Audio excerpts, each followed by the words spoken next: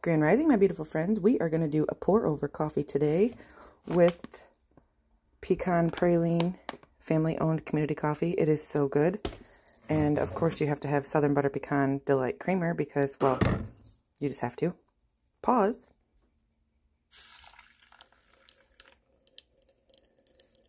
Usually I use a teapot, but I didn't feel like steeping the whole thing.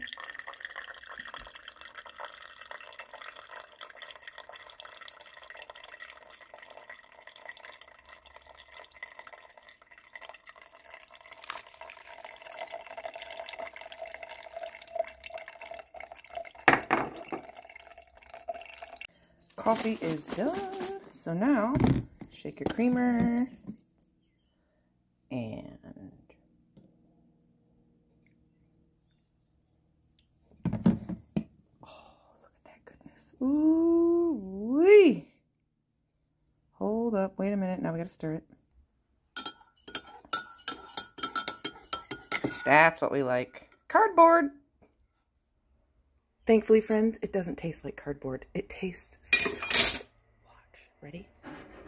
Wait for it. It's coming. Can you feel it? Here it is.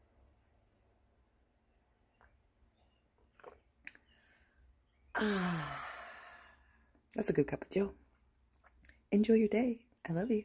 Also, don't forget to save your coffee grounds because you can make it into a scrub for your body.